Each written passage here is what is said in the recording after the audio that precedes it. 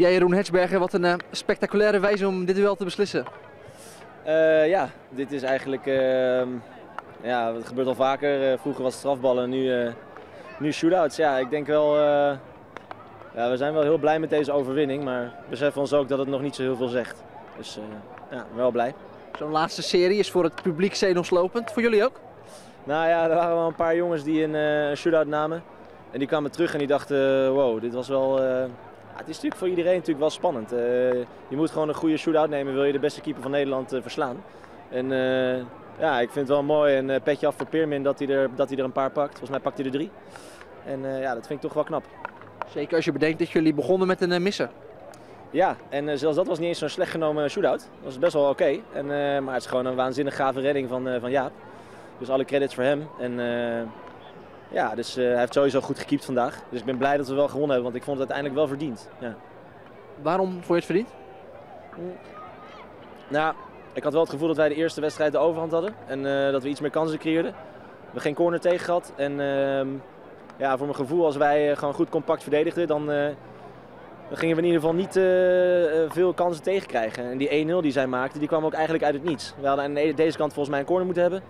En uh, staan een beetje te kijken en uh, tik tik en staat in een andere cirkel. Dat is natuurlijk ook wel de kracht van Bloemendaal. Maar uh, dat is denk ik ook wel een van de enige kansen die ze gehad hebben. los van de verlenging hadden wij een kans, hadden zij ook een kans. Piermin mega, mega redding. Dus dat op zich was misschien een gelijkspel wel oké. maar als iemand moest winnen, dan vond ik wel dat wij het waren. Het was sowieso ook opvallend het geringe aantal corners in deze wedstrijd.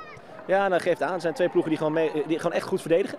En ehm, ja, op een gegeven moment naarmate de wedstrijd vordert, het is mega hoog tempo in de eerste helft. Ik moet zeggen, Wolf die kwam naar me toe, die zei Jeroen uh, nu even doorzetten, want ze zitten doorheen. Zo Wolf, uh, wij ook. dus uh, nee, het is gewoon zwaar en met het weer en ehm, veel meters maken. Dus ehm, af en toe is het aan het einde een beetje lastig om nog echt volle bak aan te vallen. Je wil ook niet te veel weggeven. En daarom blijft in de play-offs vaak bij een lage score. Dus, maar gelukkig hebben we hem kunnen pakken. Jullie krijgen twee corners, je benutte daar um, één van. Geeft jou persoonlijk dat ook een goed gevoel? Ja, dat was wel lekker. Uh, we hadden goed bestudeerd en uh, ja, we zagen gewoon dat, uh, dat daar ruimte lag. En ik ben lekker aan het pushen.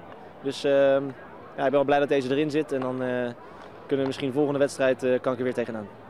Hoe belangrijk is het dat jullie die zegen pakken in die eerste wedstrijd? Nou ja, de statistieken leren dat het niet zoveel uitmaakt. Want vorig jaar en de jaren daarvoor hebben we ook wel eens de eerste gewonnen en toen verloren we de twee.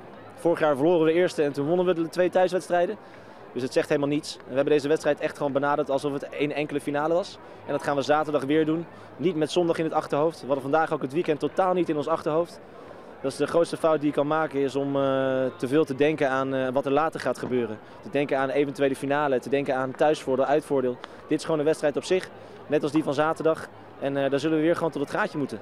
Dus ehm, ja, we zullen zien dat lijkt me ook wel makkelijker gezegd dan gedaan. Als je weet dat uh, zondag nog een wedstrijd op het programma staat, ja, dan, dan kan het toch niet anders dan ook die zaterdag nog wel een, een rol spelen in je hoofd. Ja, aan de ene kant wel. Aan de andere kant geeft het ook wel een bepaalde rust. Kijk, als je vandaag bezig bent en je denkt, oké, nou, we, we, moeten hier echt thuis winnen, want anders wordt het zaterdag en zondag echt lastig. Nou, daar kunnen we niet zoveel mee. Daar, heb je gewoon, daar kun je echt niks mee. En dan dwaal je af van wat je vandaag moet doen. En iedereen heeft zijn taak. En uh, ja, die zal iedereen zaterdag ook weer hebben. En het enige wat je kan doen is nu deze goed uitvoeren. Want je kunt niet achteraf gaan terugkijken, hadden we dat maar, hadden we dat maar. Nee, het enige wat vandaag telde was uh, deze 70 minuten. Uiteindelijk dus twee keer 7,5 erbij, 85 en shootouts. En uh, dat zal zondag of uh, zaterdag weer zo zijn.